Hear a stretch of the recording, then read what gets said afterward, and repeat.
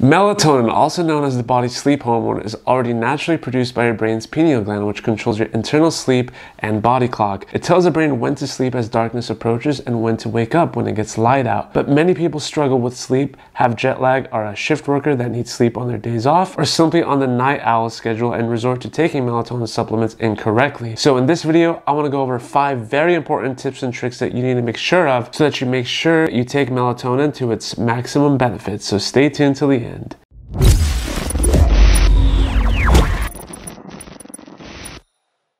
Hi guys, you've seen Arsalan Media Pharmacist here on YouTube. This week's video is on melatonin. If you're new to the channel, I talk about health and wellness topics and try to bring as much value as I can to you guys, answer questions, and really build a strong community of people who just love healthy living. Smash the like button below now as there's a ton of useful information in here that I know you could benefit from. Also, while you're at it, hit that subscribe button too to stay up to date with new weekly videos. And without further ado, let's talk melatonin. So first things first, as a disclaimer, if your doctor has you on melatonin, please make sure to follow what is recommended for you and take it exactly as recommended or prescribed by your doctor. Also, if your doctor doesn't know you take melatonin, it's a good idea to let them know and also let them know of any other herbals, vitamins, and supplements that you're taking taking so they could check to see if there are any possible interactions with coexisting medications or conditions. So to begin, the first tip I have is knowing how melatonin works so you could take it at the right time. Melatonin simply lets your body know that it's nighttime so you could get to relaxing and falling asleep easier. Hence why they should, should never be actually classified as sleeping pills because they will not increase your sleep drive or put you to sleep, but rather promote sleep quality improvement, which is an important piece of information. Many people think that they're buying sleeping pills when they aren't technically. So to really take advantage of melatonin supplements that you buy, you need to work with the melatonin that's naturally produced and make sure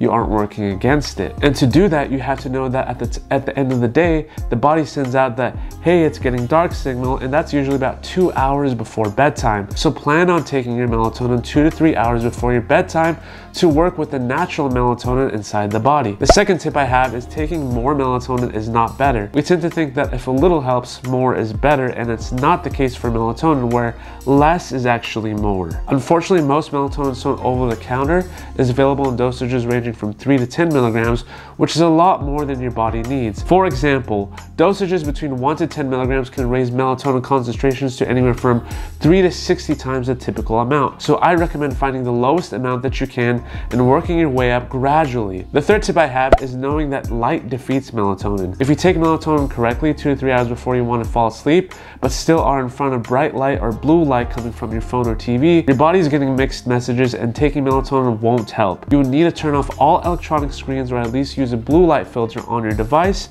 and create a dark and cool environment, kind of like the Batcave.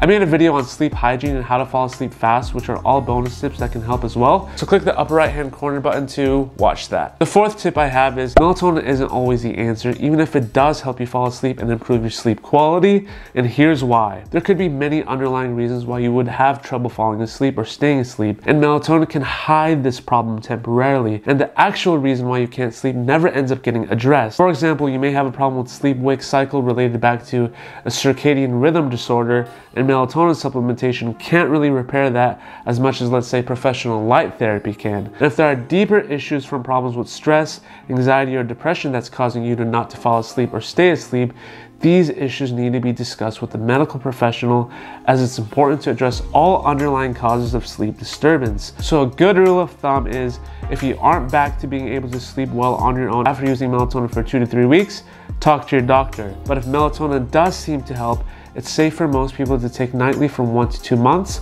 with a follow-up with your doctor after. And lastly, melatonin doesn't mix well with daylight. If you take melatonin too close to morning, let's say you woke up at 4 a.m.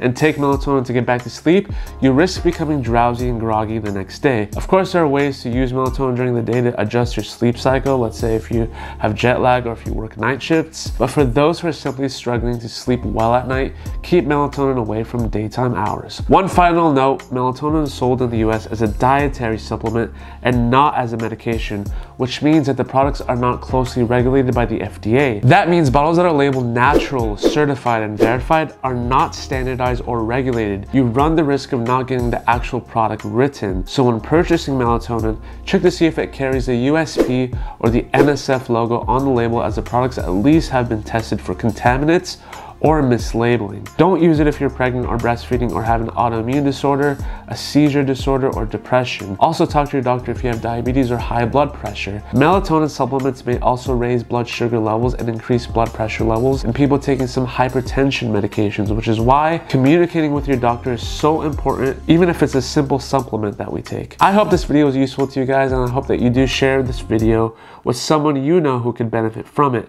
I also hope that you find adequate and safe relief in your restful sleep journey. Like the video now if you did enjoy it and subscribe to stay board with all my other weekly health and wellness videos. Thanks for sticking tuned all the way till the end and as always, see you on the next one.